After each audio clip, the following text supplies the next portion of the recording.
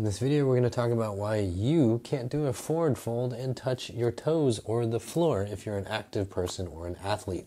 We're going to talk about the mental roadblocks and the physical roadblocks that stop you from being able to do a good forward fold so you can touch the floor, your toes, or punch the ground.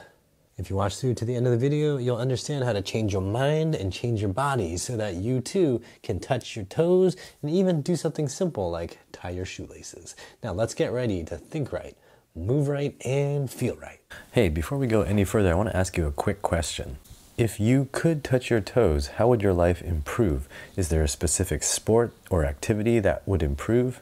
Is there something in your daily life that you would feel much, much better about if you could touch your toes? And if you can already touch your toes, have you always been able to, or did you have to train for it? And what secrets do you have that made it possible for you? Let me know your answers in the comment section down below. So I did a video previously where I talked about why a lot of people can't touch their toes, and that video was geared towards people who are really sedentary and just sit on their butts all day long. But you are an active person, and I commend you for being active. You're an athlete, you're playing your sport, you're doing all kinds of stuff. Maybe you're lifting boxes in a warehouse, maybe you're moving around all day on your feet. That's awesome, it's great to be active, but let's talk about why you still cannot touch your toes. The first thing you need to understand about the human body is that its abilities are trained. How you can move your body depends on what you ask your body to do on a regular basis.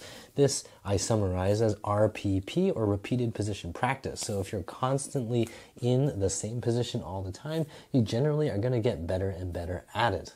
Whatever your daily life looks like will drastically affect what your body can do if you're constantly training the exact same positions over and over again, you're going to get good at those positions. So if you're never practicing forward folding and bending at the hips, you're not going to be good at it. It's not about your bone shapes, it's not about genetics, it's not about what country your grandmother is from.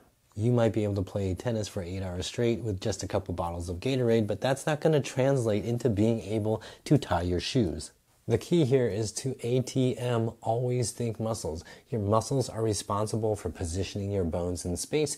If you don't train your muscles to do the forward fold, you will not be able to do the forward fold. I used to be an ice hockey goalie. I used to be constantly shuffling around and going into wide split stances and sliding around on my knees, but it's really hard to argue that that would have carryover into my normal life. Although I guess as the father of a toddler, this kind of shuffling around is actually really important. And if I had more than one kid, it'd be very important. Hey, I want to take a second to say thanks to Aisha, Nancy, John, and Bonnie for your support of the Upright Health channel. If you want to support this channel too, use the thanks button down below or the links that you'll find in the description box, or become a supporting member by clicking the join button down below.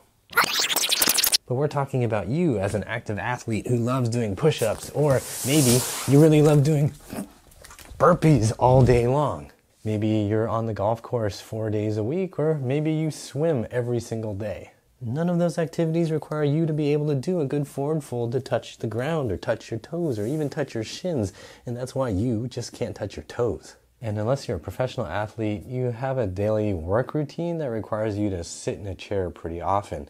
If you're somebody who's on your feet all day long for work, that actually isn't any better for helping you get into the forward fold to touch your toes because you're just training muscles to keep you in that standing upright position if you're walking all day. And if you're sitting all day, you're just training your muscles to keep you in a sitting position with your knees bent, which will have no carryover to keeping your knees straight and folding forward. Saying something like, well, I'm athletic and active, so I should be able to touch my toes easily, is like saying, I play guitar in a band, so I should automatically be good at playing the drums. So if you want to be able to touch your toes, you got to train to do it. And if you are an athlete, you may have a myth, a mental roadblock floating around in your brain that we need to explode right now. Many athletes who use weightlifting to be better at their sports have this thought in their mind that stretching is a liability and that you should never try to lengthen muscles. This is a myth that circulates around the strength and conditioning community. Over the years, there have been some studies that have claimed that stretching is actually bad for your athletic performance. And while these studies on the face may be true, kind of, you have to look at them more closely to realize that they don't have much application for you as a person living in the real world. In addition to having pretty small sample sizes, a lot of these studies are constructed poorly. One study I looked at examined the effect of static stretching during weightlifting on a one rep maximum weight.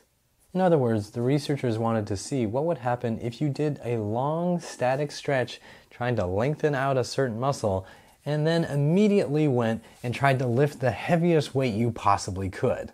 The result was that the athletes had a reduced strength output on their one rep maximum.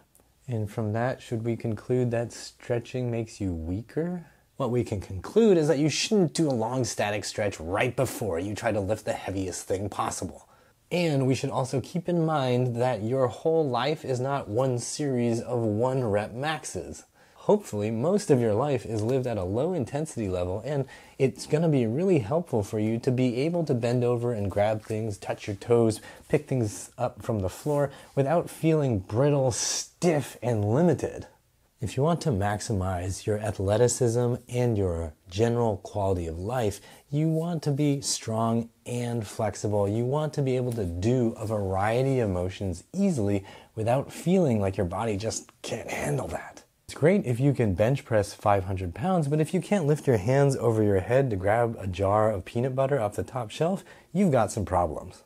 If you can run 26 miles a day every day of the week and feel reasonably good doing it, that's awesome. But if you need your spouse to tie and untie your shoes before and after every run, maybe you should rethink your training regimen. So, in closing, if you're an active person and you want to be able to forward fold and punch the ground like me, then you need to train your muscles to be able to do it. If you're ready to train to touch your toes, then check out these videos right here. Use the thanks button if you'd like to support this channel or the PayPal link down below. Like, subscribe, and as always, I hope you remember that pain sucks. Life shouldn't.